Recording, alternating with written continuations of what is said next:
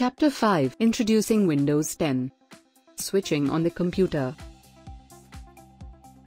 To switch on the computer, follow the steps given below. Step 1 Turn on the main switch. Step 2 Switch on the CPU. Step 3 Switch on the monitor. Now, Windows 10 is displayed on the monitor. The computer is now ready to use. Software The programs and instructions that run the computer are called software. There are two types of software. System software. System software is the main software used to run the computer. Operating system like Windows 10 is system software. Application software. Application software is used to do a particular task on the computer. Notepad is application software.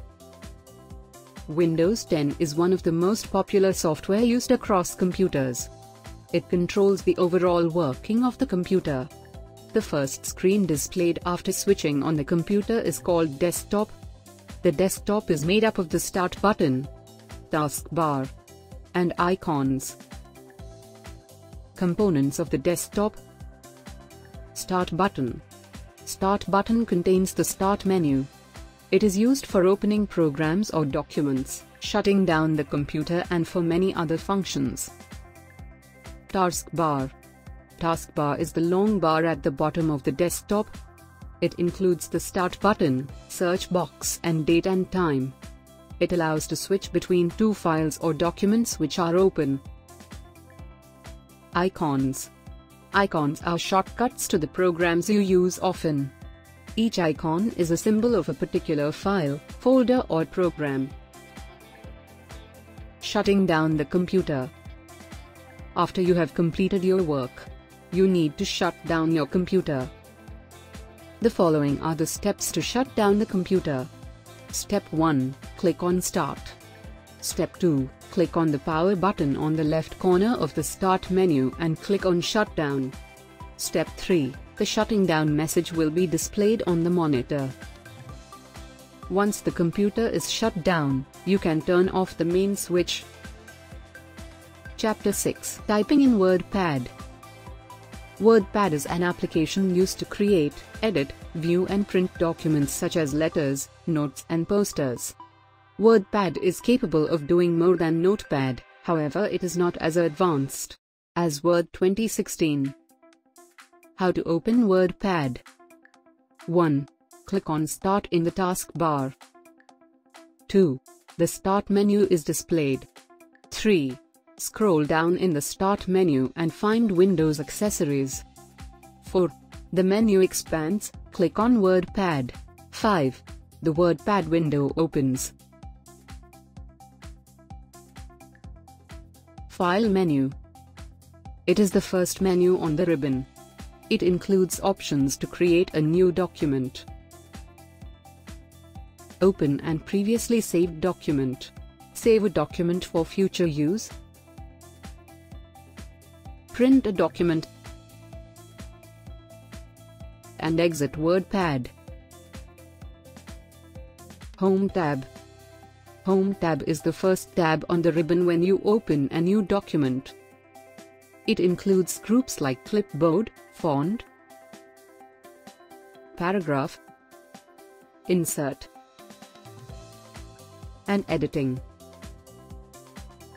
Clipboard group. Clipboard group is the first group on the ribbon. It includes cut, copy, and paste functions.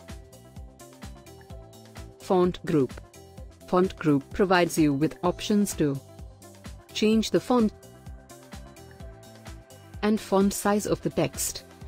Other text formatting options like bold, italics, underline, and strike through can be added to the text. Paragraph group Paragraph group helps you to align the text either left, right,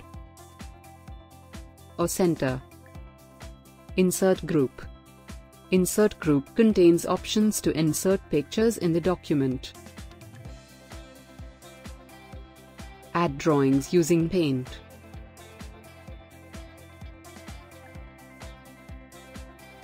And add date and time. And various other objects.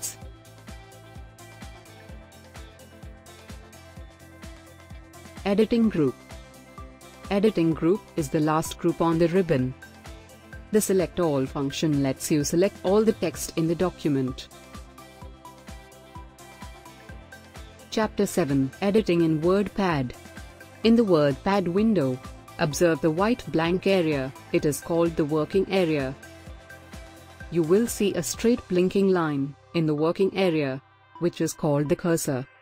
Now, using the keyboard, you can start typing. Example, type the parts of the computer. Remember, to move the cursor to the next line, press the Enter key on the keyboard. How to save document on WordPad 1. Click on the File tab. 2. The File menu options is displayed. 3. Click on Save As option and click on Rich Text Document. 4. The Save As dialog box will open. 5. Choose the location of your choice. 6. Type the name of the document in the file name box.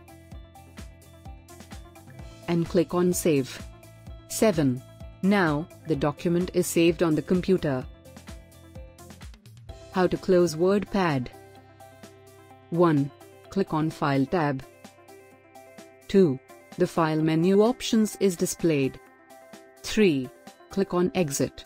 Or click on the Close X button on the top right corner of the title bar.